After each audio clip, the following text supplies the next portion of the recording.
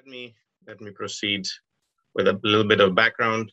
So, uh, like Martin said, I'm an associate professor at uh, Stony Brook University in Long Island, New York. I work on um, on a number of research areas, all related to the web. So I work on online tracking, um, and I have a talk later today uh, related to online tracking, which I hope you can attend.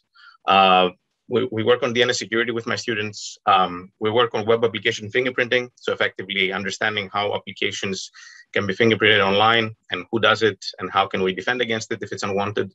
Uh, mobile browser security, so how do uh, browsers on your phone uh, behave differently than browsers on your laptop or desktop computers. Uh, attack surface reduction, so web applications like all other software uh, is growing larger and larger. So how can we actually uh, shrink it so that we keep all the features that we want and get rid of all the features that we don't want, including the vulnerabilities in the features that we don't want. And then honeypots and deception. So how can we use honeypots technology to protect web to, to increase web security? And anti-bot technologies, right? So how can we differentiate between benign regular users on your web application versus a, a benign and versus a malicious one? all right? So um, uh, as you may know, um, there is actually quite a bit of traffic on the web that is bot related. So uh, if you see here, um, this slide, according to this anti-bot company, less than 60% uh, of the um, traffic online is human related. So the rest is all bot related. So let's let's get on the same page regarding what is a bot, right? So web bots are effectively just programs that people have written that can act as a user in terms of browsing, fetching websites, fetching websites, fetching resources, navigating to different places. Uh, and so we actually rely quite a, quite a bit on benign web bots, right? So whenever you use a search engine, you're relying on that search engine having an army of web bots that constantly go on the internet, uh, crawl, index so that they can give you the right results when you search for them. When you paste uh, a link on a social network, nowadays you're likely going to get some sort of preview of that link. And what that means is that a crawler just went out, fetched that page, and generated a preview so that you can see it um, before you post it, and, and your uh, followers or your people on uh, or your collaborators can see it uh, when they when they receive your message. Uh, and on the security perspective, we also rely quite a bit on this for for detecting any sort of bad thing online, right? So phishing sites, malware, large security companies are again operating their own large armies of crawlers and bots that are going from website to website and flagging things that look suspicious, and then they end up in block lists and so on, right? But pretty much the same technologies and the same flexibility that makes uh, benign bots so powerful can also be turned against uh, against us and against the owners of web applications. So we have armies of malicious bots that are constantly crawling the web, searching for uh, victims to abuse, right? And in terms of abuse, we have quite a number of things. So we have unwanted scraping. So you can have bots that are scraping sites not to necessarily index them, right, but to steal information, steal their um, inventory, their pricing, right, um, potentially set up copies, clones of that sites and steal some traffic away from the original site. Uh, we have bots that are brute forcing credentials, so finding login forms and just hammering them with stolen credentials from other uh, sites and from other compromises. Uh, searching and stealing backup and configuration files, so effectively finding files that the developer should not have left where they left them. And finally, discovering that a web, a web application is vulnerable to something, right? And then the bot proceeding to exploit that vulnerability, potentially uploading a backdoor, and then the owner of that bot can use that uh, that compromised box or can sell it to someone else who will then use it. So let's try to differentiate between benign web bots and malicious web bots. So benign web bots, one of their characteristics is that they announce themselves, right? So if you get a benign bot on your web application and you look at the user agent, it will tell you, hey, uh, you know, I am Google bot or I am Bing bot, right? Um, and of course, you know, we understand that the user agent is something that is completely coming from the client side. So an attacker can can quite equally claim to be um, a Google bot or a Bing bot or a Facebook bot, right? So that in itself is not enough for us to distinguish between benign and malicious uh, bots. However, uh, large companies, what they do is that they actually announce their uh, their subnets from which their crawlers operate. Uh, so these are these are in well-defined uh, IP ranges. So you can actually look for every client that's coming to you and says, I am a Google bot, I'm a Bing bot, I am something else. Again, for a large enough company, uh, you can look up whether the IP address of that client is coming from an expected subnet. Okay, uh, and if it doesn't, it means that someone is most likely faking uh, the user agent, right? And another uh, complementary strategy is effectively reverse DNS, where you take the IP address of someone claiming to be Googlebot or Bingbot or something else, you reverse DNS it, and then you see whether the reverse DNS domain now falls uh, in the right uh, uh, label space uh, as you would expect it. So you can see on the bottom of the slide here, we have two user agents, uh, excuse me, we have two hosts that are both claiming to be Googlebot. The top one, when we reverse DNS it, so we take the IP address from our logs and we reverse DNS it, we will get something ending in .googlebot.com, and you can then look at Google's documentation and discover that this is indeed uh, appropriate. Okay, but for the other one, you can actually see that this is falling in some sort of residential ISP uh, network. So highly, highly unlikely, of course, that Google uh, is placing their um, uh, their bots in residential ISPs. So this is clearly uh, someone who's pretending to be Googlebot, uh, trying to pretty much evade any blocking, server-side blocking, because the idea is that websites will be very leery of blocking uh, Google bots or, or you know Bing bots or other bots. So if you see Google bot, oh, they'll just let you keep going as opposed to stopping you early if you are a user who's sending the same number of requests at the same frequency, right? So that's the idea. So this is kind of straightforward, right? If a malicious web bot is trying to pretend to be a benign web bot, we have ways of, of uh, differentiating that, at least for the large companies. The second strategy is a little bit more complicated, right? So here you have a malicious bot that is pretending to be a regular user, right? So again, the bot now, instead of changing the user agent of its program to uh, Bing bot, now it will say that it is the latest version of Mozilla Firefox or the latest version of you know uh, Brave, right? Um, so effectively, the attackers have a number of things available to them, all of them controlled at the client side, right? So they can spoof user agents uh, to be whatever they want it to be. They can simulate user actions by crawl, by scrolling, by tapping, by clicking, right? they can go low and slow. They don't have to hammer your server with thousands of requests at once. And they can use proxy servers to locate themselves uh, from wherever it is that you're expecting traffic. So I could very well be operating my malicious bots uh, at the public cloud, but I can buy residential proxy access from various companies and now appear to you as if I'm coming from a typical ISP network. All right. So the uh, the defenses of this, uh, how, how, do we actually find these bots that do this, is quite more open-ended, right? So we can use anomaly detection. So we can look at the timing of request and say, okay, this user who claims to be a user is moving too fast through my site, right? Um, um, and we can sort of decide that this is some sort of anomaly and we can choose to take some actions against this specific IP address, right?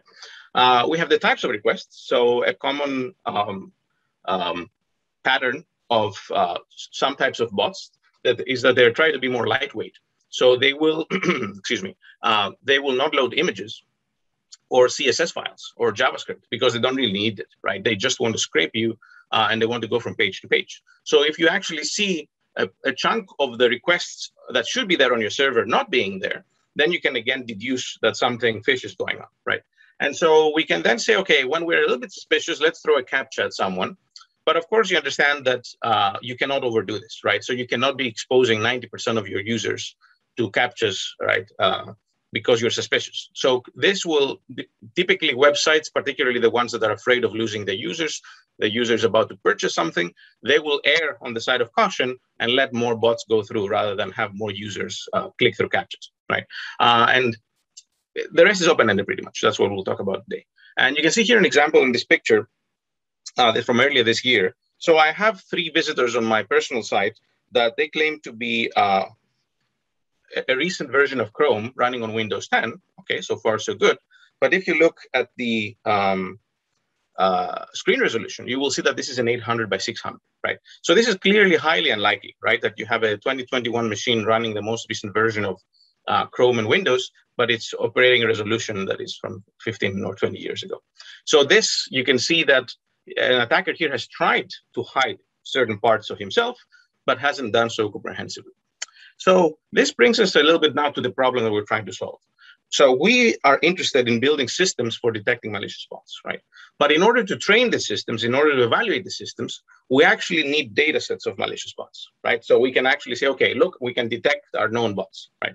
But of course, in order to, to procure data sets of malicious bots, you need systems for malicious bots, right? So you have the circular dependency that we somehow need to break, right? And uh, in academia, at least, a lot of what a lot of uh, my colleagues did in the past is that they looked at the web server logs that they had access to, and they just manually went through them and they said, okay, this is a bot, this is not a bot, this is a good bot, this is a bad bot. But of course, you can understand that this is highly, highly uh, error prone, right? So the question that we set out to answer is, can we actually curate a bot only data set uh, that doesn't rely on us being particularly good in labeling and differentiating, right, between benign users and malicious or benign bots. So we want to for this data set to allow us to, as I mentioned, differentiate between good bots and bad bots. Uh, we want to understand the activities of bad bots. So what is it that they do when they attack your website? We want to be able to actually see, to uncover their real identity. So I see that a, that a bot has come to my website, it's claiming to be Mozilla Firefox, but what is it really, right? And then map and study uh, trends of bot activity over time. So we set out and we built this uh, system that we call Aristeus, uh, and Aristeus uh, is a minor uh, god in Greek mythology who was the protector of beekeepers. And so our system is pretty much relying on this idea of using deception for security. Uh, and specifically, the system is providing a flexible deployment and management of honey sites. So what are honey sites?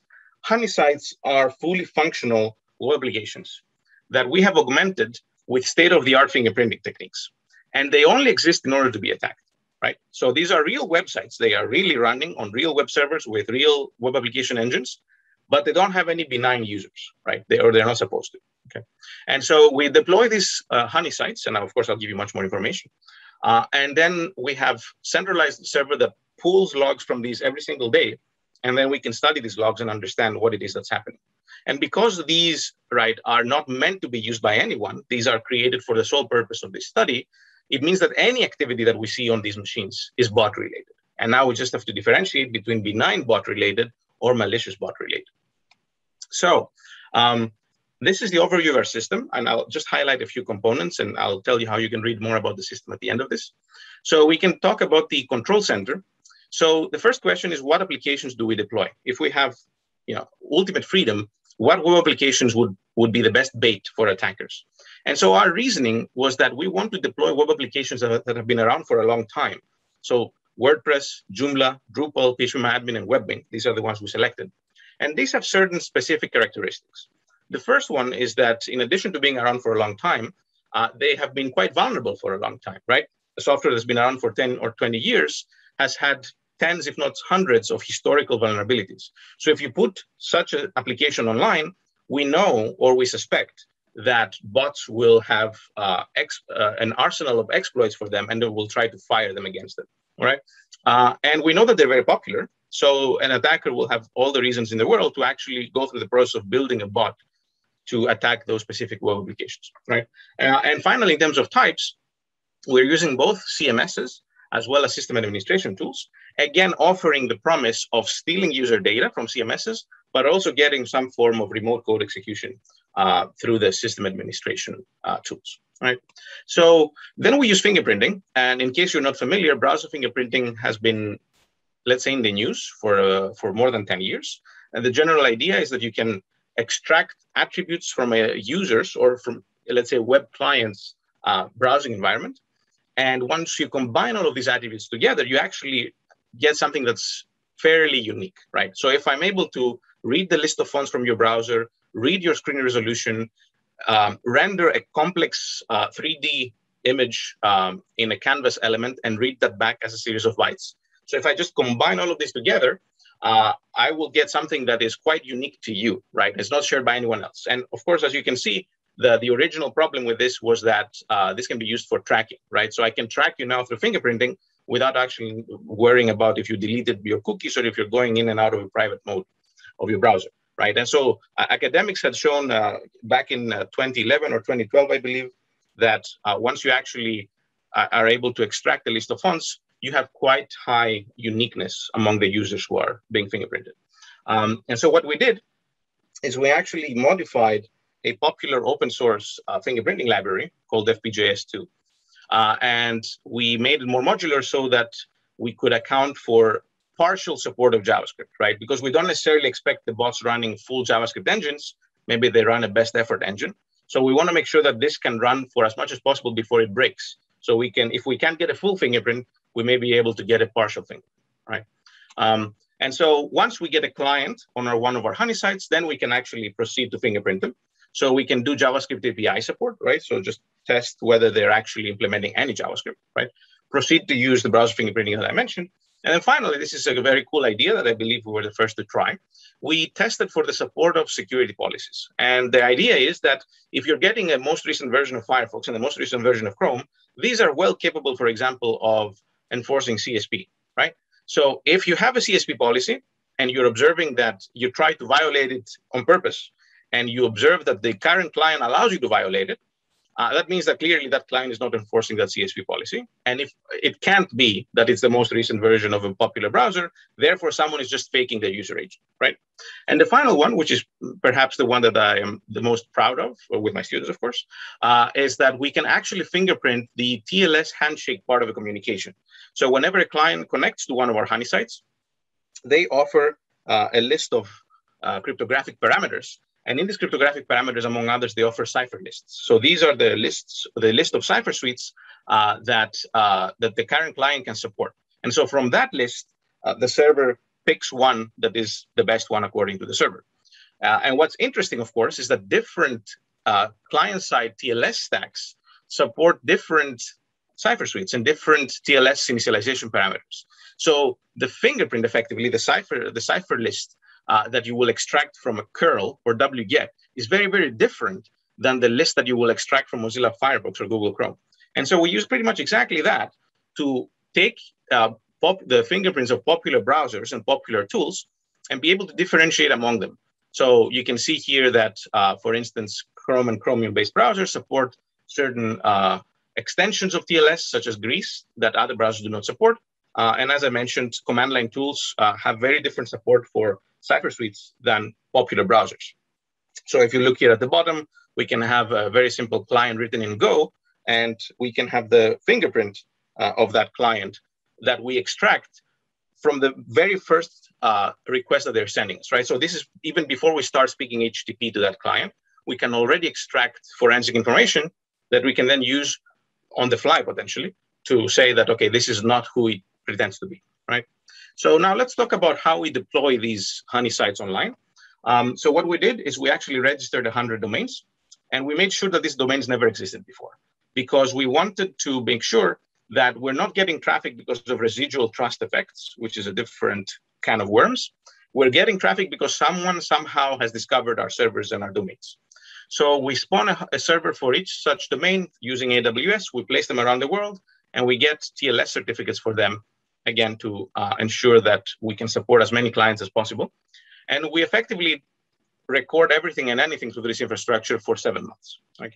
And so at the very high level, what we get in these seven months, we, what we got rather, is 26.4 million requests and 200 gigabytes of recorded traffic. And I want to again mention that these are sites that should be getting zero traffic, right? Because we ne- they have no real clients. We never told anyone about these domains. They just exist. And because they just exist, right, they are actually getting so much traffic uh, in the grand scheme of things.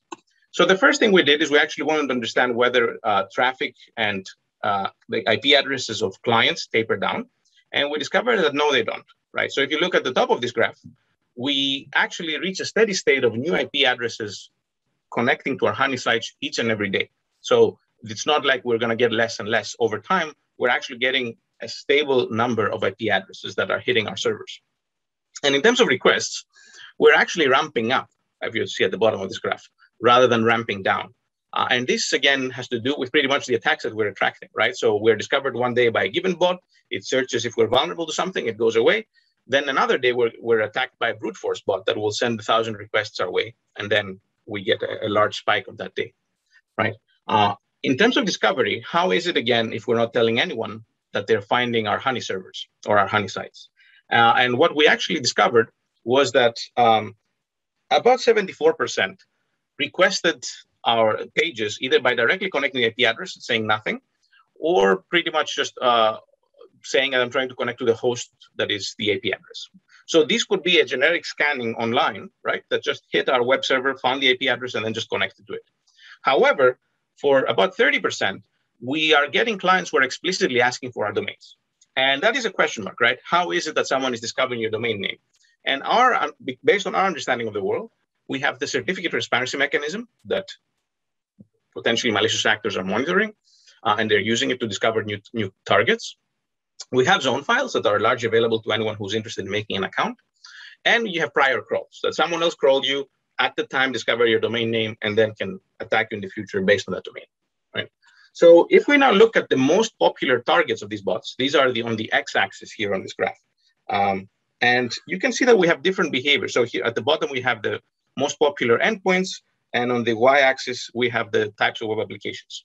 So you can see a little bit of a different pattern of requests.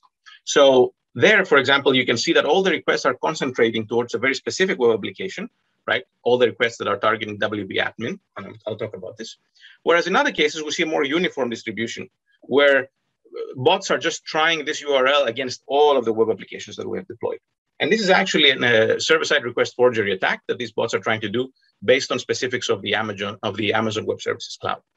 Um, so if we look at the earlier behavior, right, we see clear evidence of tailored attacks, right? You see that it's the WordPress sites that are getting the most hits for the WordPress endpoints, and it's not everyone else. So it's not like someone is just asking for WP admin from the internet.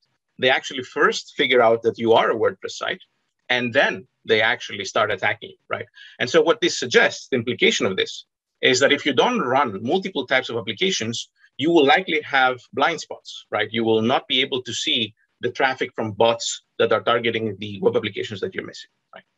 Um, so now let me talk to, talk to you about some things that we expected, but it didn't turn out to be the way that we expected it to be, right? So we thought that, oh, we'll use JavaScript fingerprinting and we'll get all this information.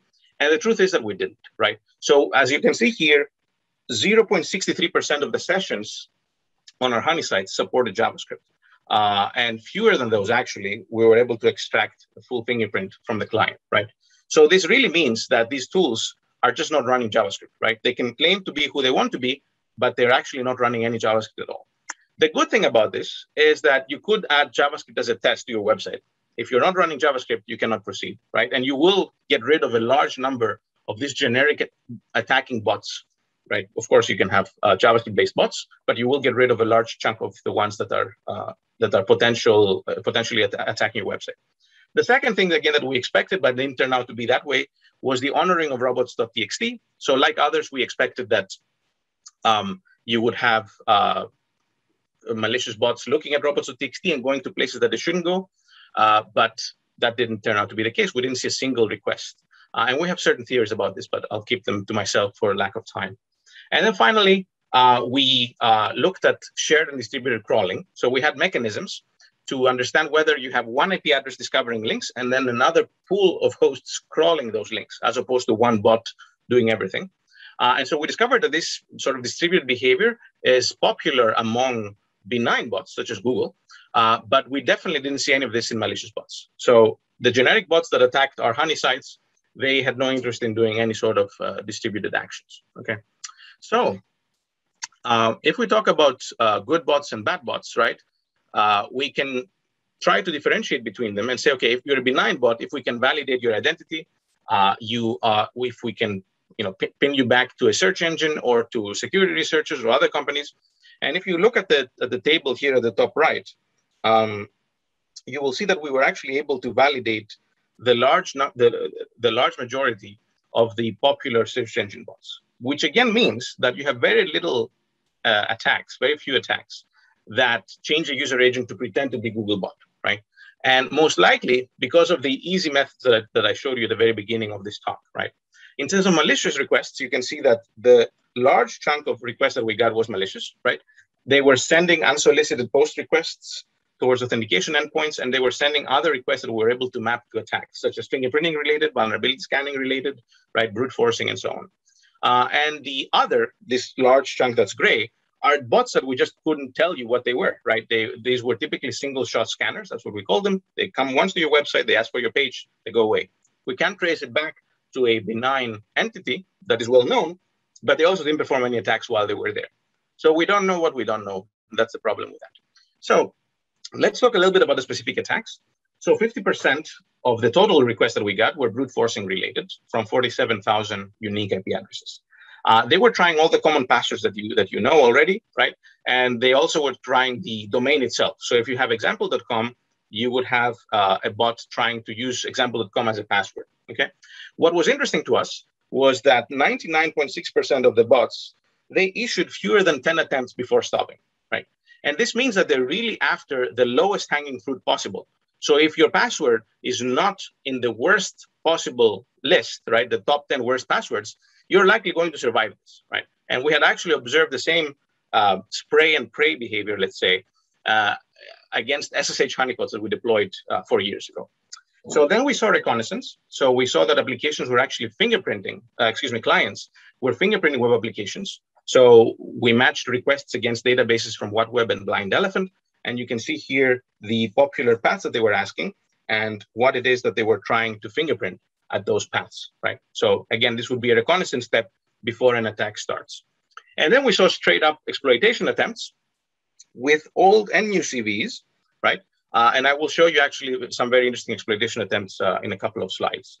Um, we have reconnaissance that is not exploit related. Like I mentioned earlier, you're searching for misconfigurations from developers. So you're searching for backdoors, you're searching for protected files. And we saw uh, quite a number of uh, IP addresses that were explicitly searching for these files, trying to effectively capitalize on developer error.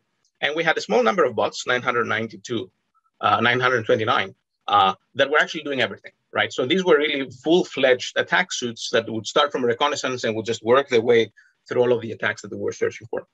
Um, let me quickly tell you about TLS fingerprinting. That worked spectacularly well, unlike JavaScript fingerprinting. So we were able to actually boil down all the clients to 558 unique TLS fingerprints.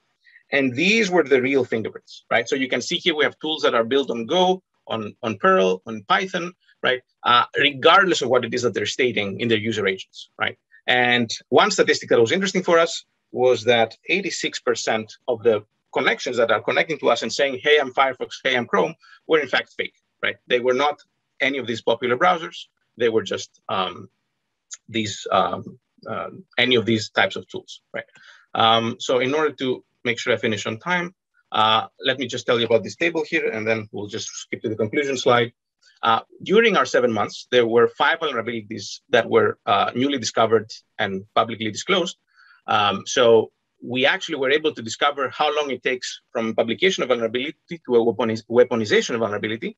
And you can see here the time, and specifically for these two, we saw requests against our honey sites that on, were on the same server on same day, excuse me, as the uh, uh, as the vulnerabilities were announced. So that means that we had pretty much zero days between the publication of vulnerability and the very first attacks against them. So I'll skip to the conclusion because I see Martin here is giving me the look. So uh, as we're moving more and more software to the web, right, we are also moving attackers to the web who have armies of bots available to them. And uh, through this work, we actually showed that through very modest uh, costs, you can build your own database of malicious bots, and you can use this database to protect your real infrastructure. Uh, you can find everything that I said plus a lot more on our paper that you can find online by just searching for the same title. Um, and that's the end of my talk. So thank you very much.